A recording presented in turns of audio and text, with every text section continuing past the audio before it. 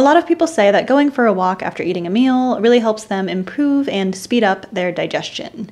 But what does the science say? Today I'm going over scientific studies on how exercising after a meal, both high intensity exercise and low intensity exercise, influences how quickly you digest your meal. Hey there, I'm Miche, and I am a full time research scientist with my PhD. And by day, I conduct and publish studies of my own, whereas by night, I share the results of other studies here to help you reach your weight loss, fitness, health, and nutrition goals. And this video was inspired by a few of you asking this question. And another related question I've been getting lately is how exercise influences your appetite, so in terms of how much do you end up eating afterwards. And if you are interested in that, I do actually have a video on that, so check that out after this one if you're interested. And today I will be focusing on digestion rate, not only because it plays a role in determining your appetite, but also because it has some big health implications. And specifically, I will be talking about gastric emptying, which is the rate at which food leaves your stomach. So, first, I'll talk about how exercise, both low and high intensity, influences your gastric emptying, and then I'll talk about why you should care. So, why you might want faster or slower gastric emptying depending on your situation and goals and I will mostly be focusing on a meta analysis of 20 studies that included 35 trials looking at how different types of exercise influence gastric emptying after meals. But first, I'll quickly talk about a specific study to kind of explain how these types of studies are done. So, in this one study, they had participants eat a meal that was labeled with radioactive isotopes to trace it going through their body, and had them either stand after eating that meal, like right after, or do light walking at 2 miles per hour, or do brisk walking at 4 miles per hour. And they looked at how either standing versus light walking versus brisk walking influenced how quickly that meal moved through their body, and specifically how fast it got out of their stomach. And they found that doing light walking right after eating increased gastric emptying rates by 40%. So, food left people's stomachs 40% faster when they did 2 mile per hour walking than when they did standing. And for brisk walking, they found that walking at 4 miles per hour increased gastric emptying rates by 55%. And so, what we can see from this study, which is also confirmed by the meta analysis, walking after eating really increases the rate at which you digest food. And interestingly, it looks like you get most of the benefits just from light walking, and doubling the speed at which you walk only gives you a little bit of additional benefit in terms of speeding up how quickly food leaves your stomach. And based on this, we might be thinking, well, walking compared to doing nothing really speeds up your digestion, and walking even faster speeds up your digestion even more. So, therefore, it seems like doing something even more intense, like running or high intensity biking, should speed up your digestion even more than that, right? Well, this meta analysis actually found that doing high intensity exercise slows digestion, both compared to doing nothing, like standing or being at rest, or compared to walking. And to use another specific study as an illustration, one study looked at high intensity interval training with sprints and found that when people did sprint intervals, either at 70% of their VO2 max or 100% of their VO2 max, they really slowed down their gastric emptying rate to the point where these people had four times more food left in their stomach after an hour than people who did not do these sprints. And going back to the meta analysis, what they found overall was that doing exercise up to 40% of your VO2 max really speeds up digestion, whereas doing exercise at 70% or greater of your VO2 max really slows down digestion.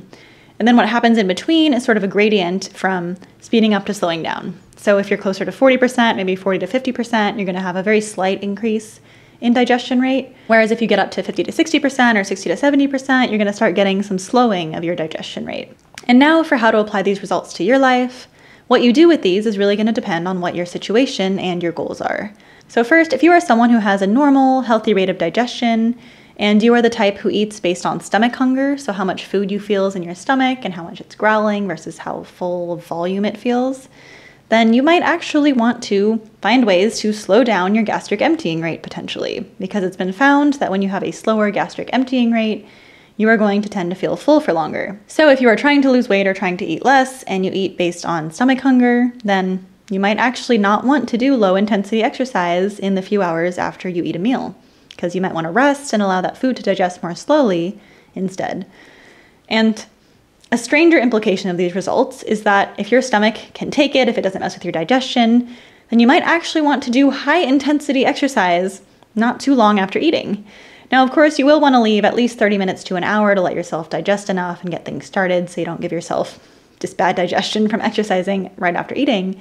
But these results do suggest that if you are trying to slow down your digestion, then doing something like intense running or sprints or high intensity bicycling a little while after you eat is going to help slow down your digestion rate, which might help keep you fuller.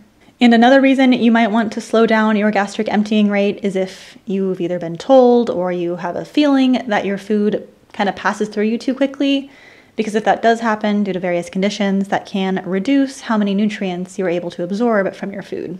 So if you have that happening, then that's also another reason to not be walking or doing other low intensity exercise during the three or so hours after you eat a meal, because you do not want to speed up your digestion even more. And now, on the other side of the coin, a lot of people deal with slow digestion. And in fact, there's a condition called gastroparesis for clinically slow digestion that affects quite a few people, especially people who also have diabetes, such that actually about a third of people with diabetes also have gastroparesis. Or even if you don't fall into the category of clinically slow digestion, you still could have some suboptimal digestion speed going on. So, for example, if you have GERD, one common cause of GERD is slow digestion because food stays in your stomach longer and then that acid comes up into your throat. And another way that slightly slow digestion can manifest is if you feel full for a long time after meals or you actually feel more full over time after eating. That can be a sign that you are digesting food quite slowly, especially in terms of gastric emptying. So, in any of these types of situations, you would want to increase your rate of digestion. So, if you want to do that, you could just go for low intensity exercise during the two to three hours after you eat. So, things like walking, whether it's light or brisk walking, or light biking, anything like that that gets your heart rate up, but not too high. And this data suggests that if you are trying to speed up your rate of digestion, then you should avoid doing any kind of intense exercise during the three to four hours after you eat a meal.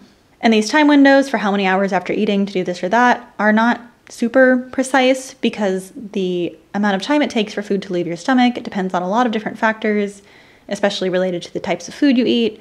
So, things like whether the meal was big or small, having bigger meals, you're going to need more time for digestion, more time for it to leave your stomach. And the same goes for how liquid versus solid your food is. So, foods that are more solid are going to take longer to leave your stomach. So, for all these windows, I'm giving a rough estimate of three hours after you eat in terms of when the exercise needs to occur. But in general, food is definitely going to be in your stomach, at least to some extent, up to two to three hours after you eat a meal, and it's going to be less so if you just ate a snack. And for one last implication, one thing that these studies talk about is the fact that a lot of high intensity athletes actually suffer from a lot of GI problems. And one possible reason for these GI problems is doing your high intensity exercise too close to eating meals, because for some people that can cause problems, and it might not be immediately evident that that is the cause of the problems. So if you do a lot of high intensity exercise and you have a lot of gastrointestinal issues, then it might be worth tweaking when you eat relative to when you exercise if you haven't thought of doing that already. If you found this video or any of my other videos helpful or interesting, please consider supporting me and making them via the Patreon, which is for monthly support, or the GoFundMe, which is for one time support.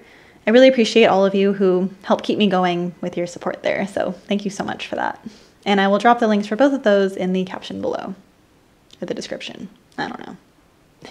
if you like this video, please like and share it so that other people can get this information and learn about how they might be able to tweak their exercise timing versus meal timing to optimize their digestion. And if you haven't already, please hit the subscribe button and the notification bell below to stay up to date on all this science. Thank you so much for watching, and I will see you next time.